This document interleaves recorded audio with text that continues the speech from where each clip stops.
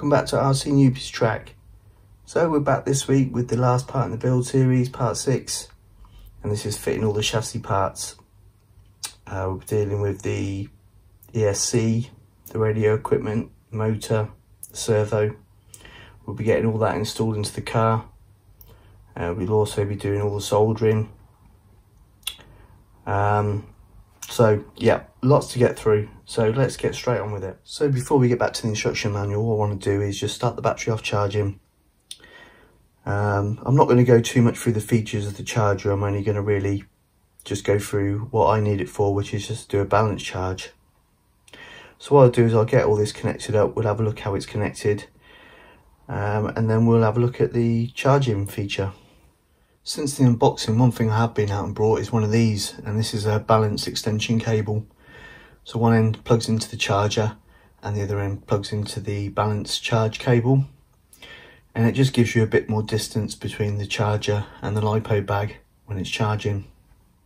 So first off, I've just fitted the balance and charge cable to the battery. So it does say in the manual to connect the leads to the charger first. So I've connected the charge cable and the balancing extension cable. Um, and now it's just a matter of connecting the battery.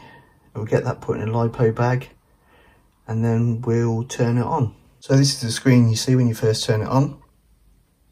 Um, it's set LiPo charge, 0.1 amps, 3.7 volt and saying it's a 1S.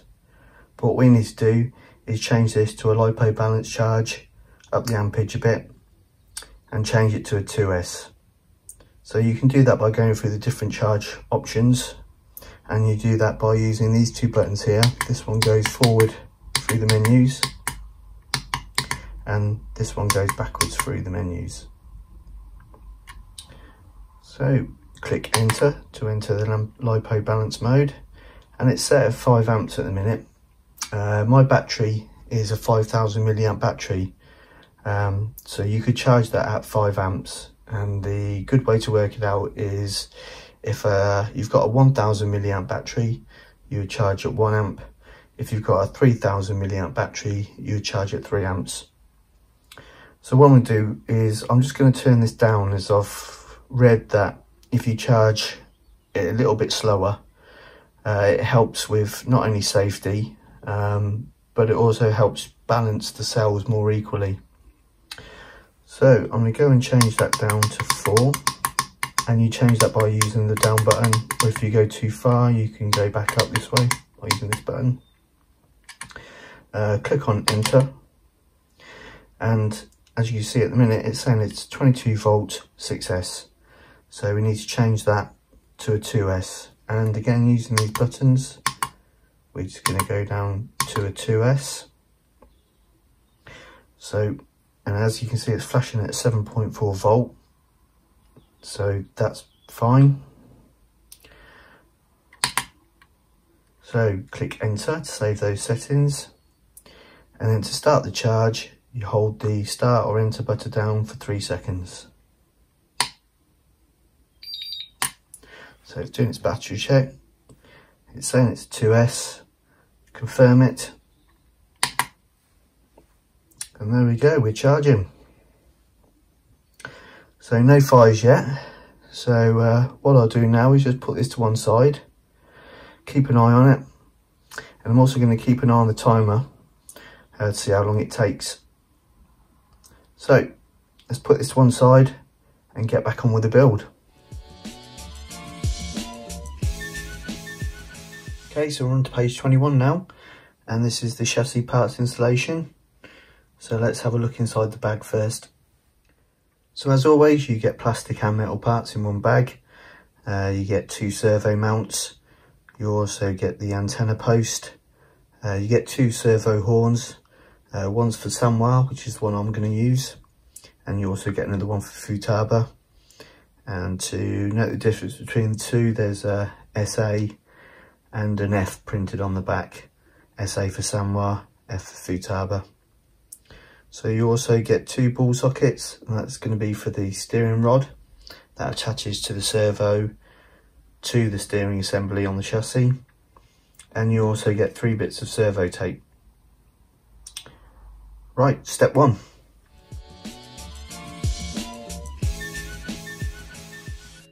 So step one is building up the servo horn and fitting that to the servo. Um, it needs to be at an angle uh, 90 degrees as shown in the instruction manual. Um, but what you need to do first is reset the servo um, and the only way to do that is to get power to it. Um, so what I'm going to do is sort of break away from the manual at this point. Um, I'm going to build up the servo horn, but I'm not going to actually fit it. But I am going to fit the servo to the chassis, carry on with the build. Then when I get power to the car, reset the servo, and then attach the horn. So that is the servo horn built. Um, now it's just going to be a matter of attaching it to the servo when we've reset it. And that little small black screw is the screw you get with the servo. So that's not actually included in the build kit, but you get one of those depending on which servo you buy.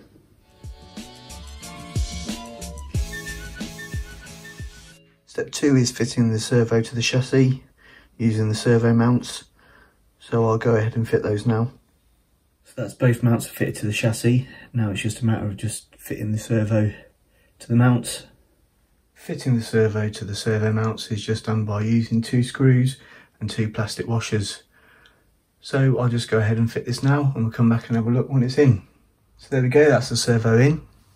Uh, one thing I would keep in mind when you're doing it is when it comes to screwing down the servo into the mounts, is just push down a bit on the servo because uh, as you can see there isn't much clearance there for the steering to go above the servo.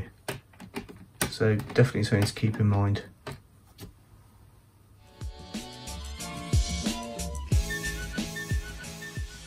So step three is assembling the steering turnbuckle. Um, as with the other turnbuckles, they all have to be uh, set lengths. So this one's 9.5 millimeters. So I've got my micrometer back out to help me with this. Um, so the same as uh, the others really is uh, they recommend you uh, grease up the turnbuckle, screw both ends on fully, and then adjust back until they're about 9.5 millimeters in length. So I'll go ahead and do that and we'll have a look when it's all finished. So that's the steering turnbuckle made up. Uh, does say in the manual when it's fitted there might need to be some fine tuning made. But let's go on to step four.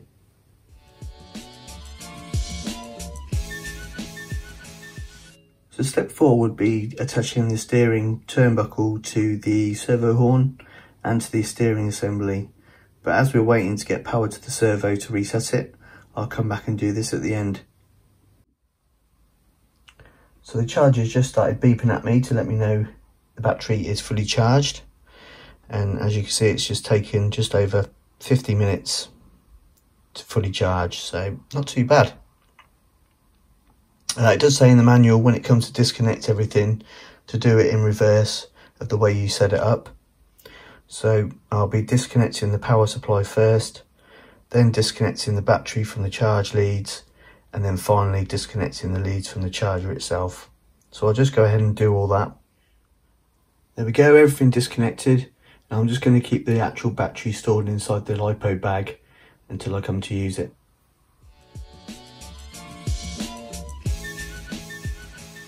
So the next step is to fit the motor. Um, what I'm going to do here is step away from the manual again. Uh, it does tell you to add the pinion and mesh the gears, but I'm going to leave the pinion off at the minute. Um, I think I'm going to need to move the motor around when I install the radio gear uh, ESC. Um, also, when I do a bit of soldering, it might be handy to be able to move the motor around without having to worry about affecting the gear meshing so I'll come back and I'll fit the pinion at the end. So that's the motor in. And what you can see is I'm able to sort of move it backwards and forwards. Just if I need to move it to do certain parts of the build. So what I'm going to do is I'm going to move the motor as far forward as it will go and secure it there. And the reason I'm doing that is if you keep it to the back, as far back as it will go, and uh, space your ESC, for example, up against it, if you did have to move it forward, it would be pushing against your ESC. So what the best thing is, uh, I've sort of found out to do is push it as far forward and that gives you a good idea of what space you've got to work in and if anything when you move the motor back you'll have a little bit more room there.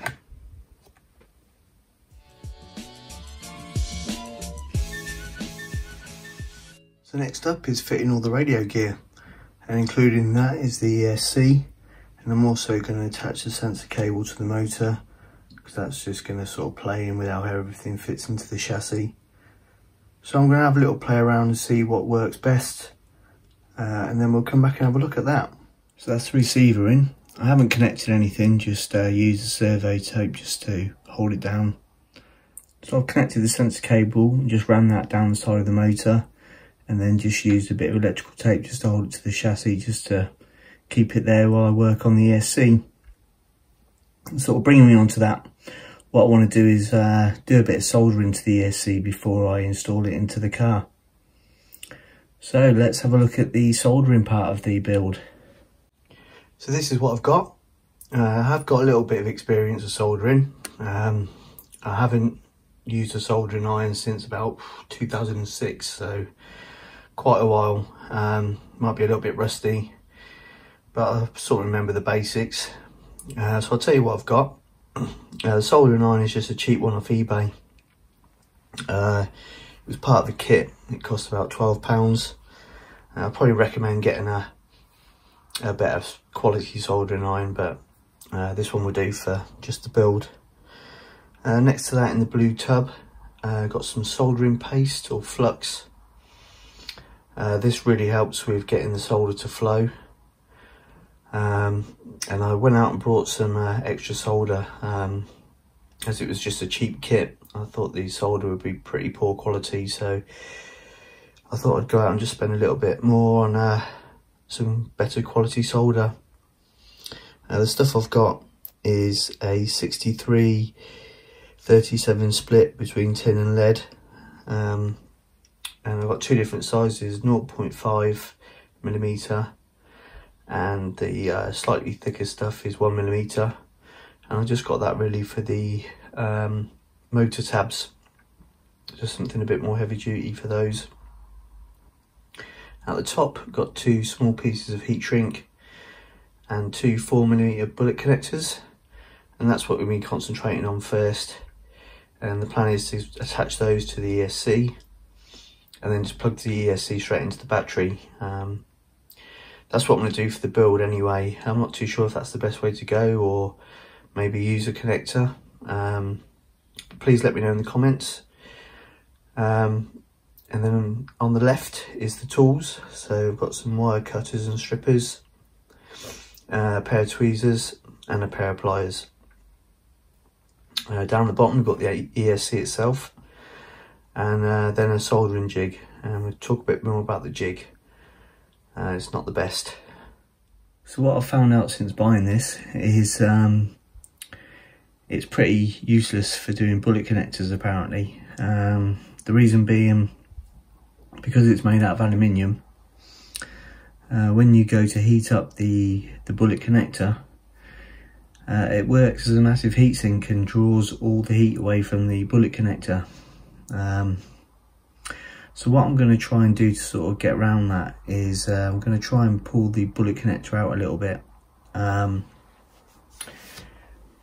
what I mean by that is just sort of pull it out so it's not making as much contact with the jig. Um, the bottom of the pin isn't touching the base of the jig.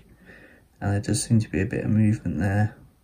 Uh, sort of flip it over. It does seem to be pretty secure in there. So I'm going to have a go at doing that. So the original plan was just to solder the bullet connectors onto the end of these cables, uh, just to save a bit of time really. Uh, it looks like they're tinned and it could be done. Uh, but looking at this red plastic bit here, I thought this would slide off the cable or slide down. But it looks like it's stuck on there and I won't be able to slide the heat shrink over that. So I am going to have to sort of cut them down a little bit. Um, I know you are supposed to cut everything down as uh, short as you can. Uh, but what I'm going to do is just leave everything a bit longer. uh, just in case I make a mistake and uh, I don't want to get caught out if um, I cut something too short and uh, so that's the first part of the uh, mission is to get these cut down um, and stripped so there we go that's both of them cut and stripped I gave them both a twist just keep all the threads together. Uh, I did try and keep them the same sort of length as the end of cut off. Um, and looking at a bullet connector they are going to sort of fit in quite nicely I think. So go ahead and get these set up to be tinned. So what I'm going to do is I'm just going to do each lead separately. Um, we'll start off with this one this is the positive cable um, and I've slid on the heat shrink so we just slide that down out of the way so what I'm going to do is I'm just going to do one on camera and then I'll do the other one off camera just to save a bit of time.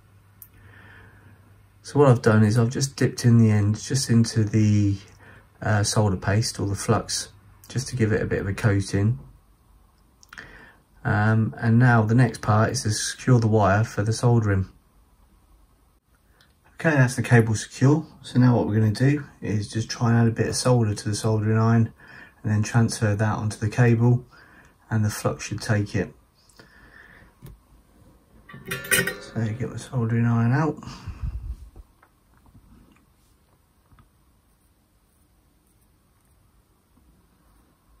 Okay, put a bit onto the bottom of the iron and we'll just place this on the bottom.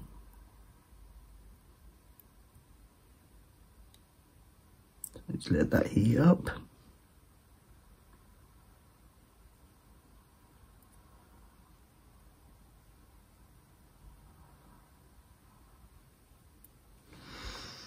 There we go. Give the iron a wipe.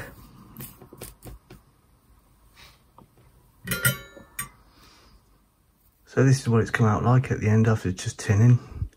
So not too bad for a first attempt. Um, right, so uh, now let's uh, tin the bullet connector. Right, so hopefully this uh, jig idea will work. Hopefully we'll be able to get some uh, heat into this bullet connector and then just feed a little bit of soldering. So we'll go ahead and have a go at that. I've got a different uh, solder tip on now. This one's just uh, going to help me get into the bullet connector a little bit more.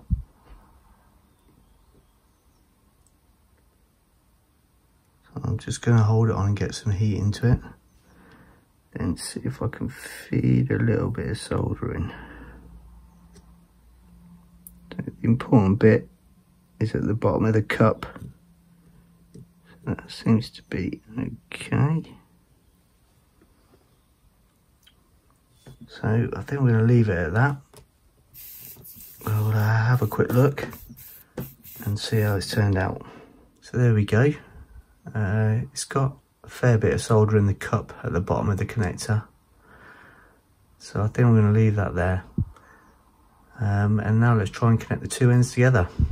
So what I've just done is just added some flux to both ends and now we're just going to apply a bit of heat and get them uh, together, soldered together. So what I've just done is just applied a, a bit of flux to both ends and now we just uh, apply a bit of heat, get the solder to flow and join the two together hopefully.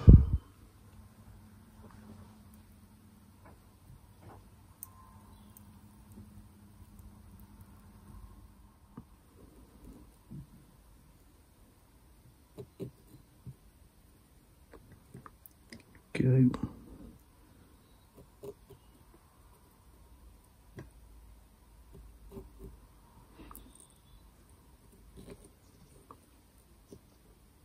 Started to flow now.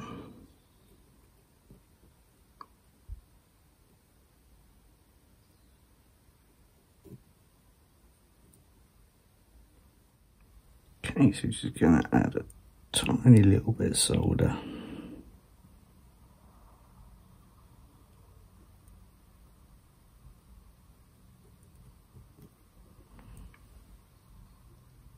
There we go. Um, So we'll just let that cool down for a second and then we'll come back and have a look how that's turned out. So not too bad uh, for a first attempt. I'm sure it'd do the job. Um, so right, all that's left now is just to uh, slide the heat shrink over the connector and the joint and shrink that down. So I'll go ahead and do that and then we'll have a look at the finished product. So there we go, there's the finished article. So yeah, not turned out too bad, quite happy with that. So what I'll go ahead and do now is just do the other one, but I'll do that off camera just to save a bit of time. And then we'll come back and have a look at the pair. So there we go, that's both of them done.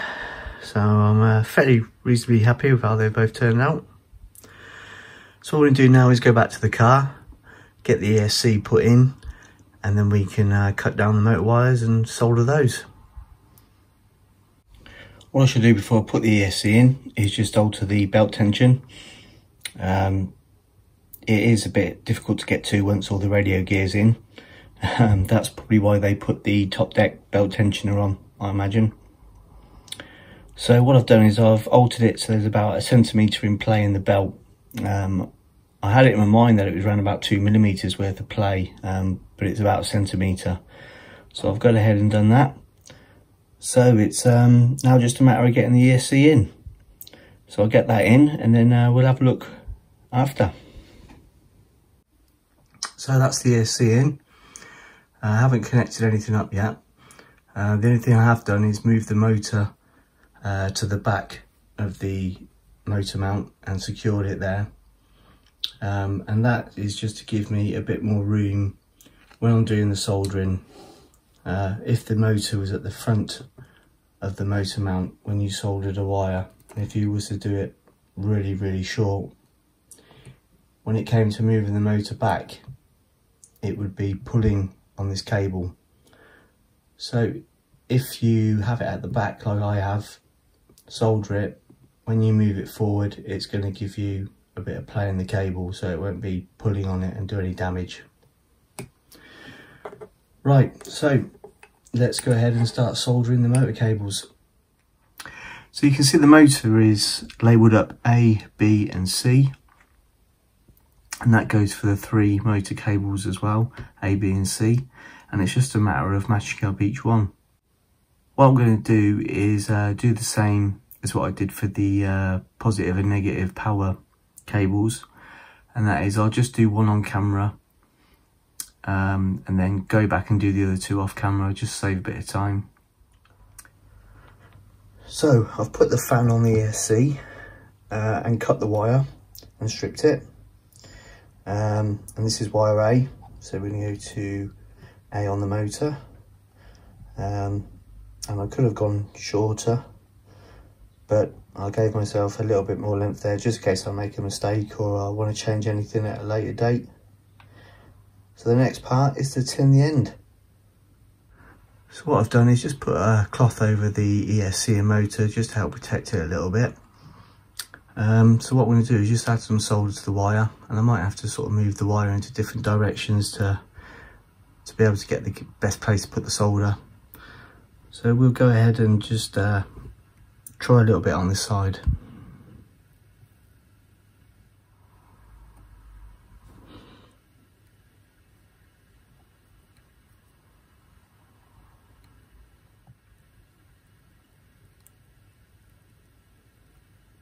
So there we go, that's how it's come out.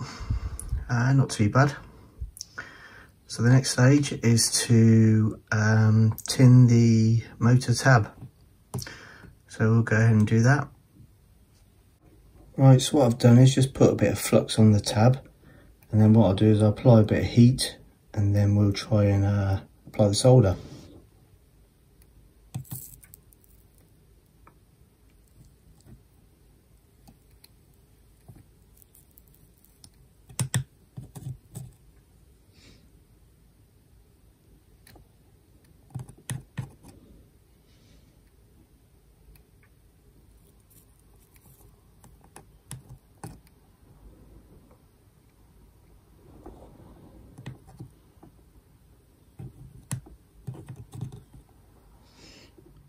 So a bit of flux on the cable and a bit of flux on the motor tab. And we'll just solder the two together.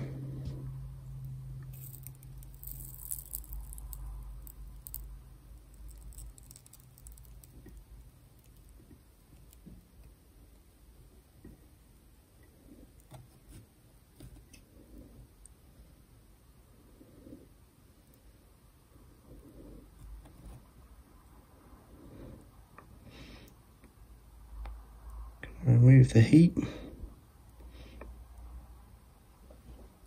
So now we're just going to apply some more solder.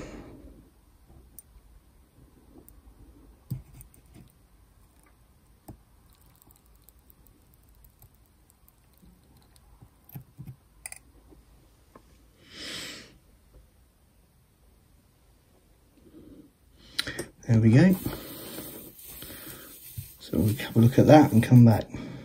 Hasn't come out too bad. I think the flux has left a bit of residue behind, but um, I think that's that's fine. So what I'll do is I'll go ahead now and do uh, B and C um, off camera, and then we'll come back and have a look at the, uh, the finished motor. So that's all three done now. Uh, made sure there was a good amount of solder on each one, and they've had a good time to cool down now and uh, giving them a good good play. They're not gonna no, they're not going anywhere. So I'm happy with that. So now it's on to the electrics, um, sorting out the servo and the ESC. So that's everything in. Uh, got the ESC and the servo both plugged into the receiver. Uh, got the on-off switch on the top deck.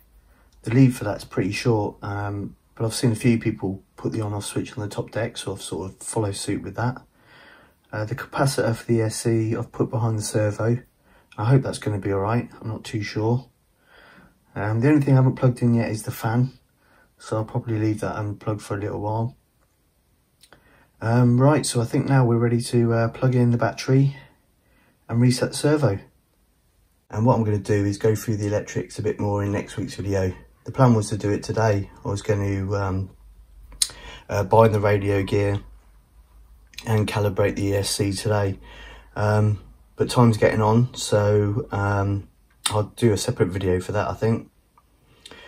Right, so now we can go back and fit the servo horn and the steering turnbuckle. Uh, the servo horn was a really, really tight fit. Um, real struggle to get on, but got there in the end. Uh, so now it's onto the motor and fitting the pinion and meshing the gears.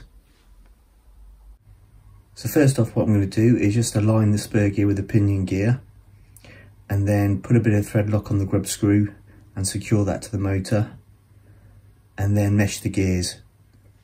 So I've aligned the pinion gear with the spur gear, tighten that down and mesh the gears as close as I can get them. So there still is a little bit of play there, which is what you're supposed to have, like a, a rocking motion. So I'll go ahead and leave that for now. I can always come back and do a um, a little bit of a touch up.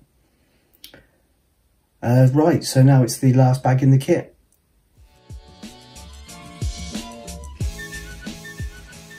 So the final part, and that is fitting the LiPo mount. Uh, so what we do, as we've done the way through the build series, we'll just take a little look at what you do get inside the bag. Last bag in the kit, and it's probably the least interesting. All you get is the front and rear LiPo mounts and the screws for the job.